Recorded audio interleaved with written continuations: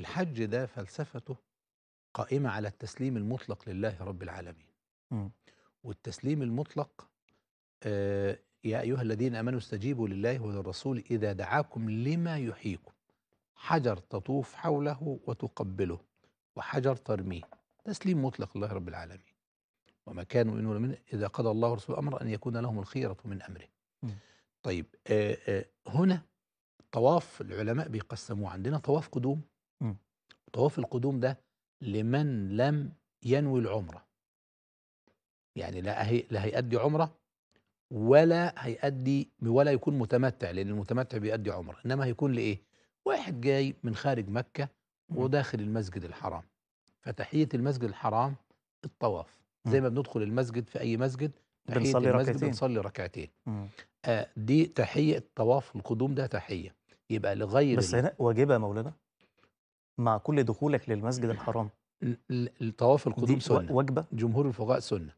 طواف القدوم سنة. الرأي الراجح فيه لا يعني لو أنا مثلا حبيت أروح أصلي الفرض ليس بفرضه، واجبا. بس ممكن أصلي ركعتين عادي. أي نعم. آه. تصلي ركعتين عشان تاخد ثواب آه بس مش. شرط إن أنا أطوف مع كل قدوم لا- يعني. لا لا لا, لا. آه. وبعدين كمان حتى في هذه الآونة أنا يكفيني طواف القدوم في البداية لأن بعد كده أنا مش عايز أزاحم على الناس اللي هم صح. لسه جايين.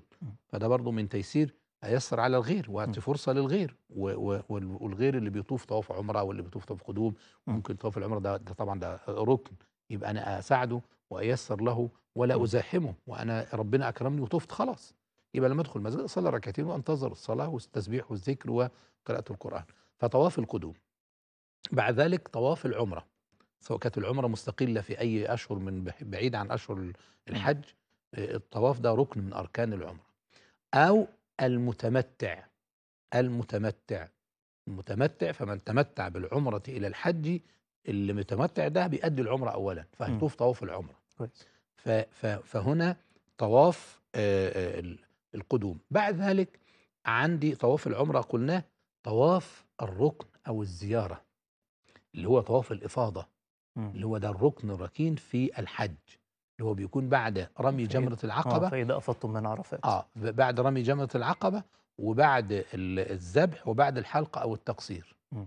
يعني في يوم النحر إما أن يأتي يوم النحر وده الوقت المفضل له أو في أي وقت آخر حسب ما تيسر للحاج بعد ذلك بيطوف طواف الركن أو الزيارة و- آه، أو طواف الإفاضة. ده ركن من الأركان. بس ده مولانا بيكون جائز بعد بعد جمع الجمرات. من مزدلفة آه بقى ما إحنا بعد يوم ممكن في يوم. العيد في يوم وبعد العيد كده أطلع على منى آه ما إحنا وارد إحنا رحنا على منى رمينا جمرة العقبة مم. سبع حصيات في منى كما سنتحدث فيما بعد ثم الذبح والذبح دلوقتي يعني بقى أصبح بيدفع الصك صك. بتاعه خلاص حلق أو قصر بعد ذلك طواف الإفاضة عشان طواف الإفاضة بيكون بملابسه العادية مم. ال- ال- طواف ال- ال- العمرة بيكون فيه آه، بيزيد فيه عندنا الرمل والاطباع الرمل أو الاطباع الاطباع يعني كشف الكتف الأيمن وده بيكون من عند. بداية الطواف إلى نهاية الطواف.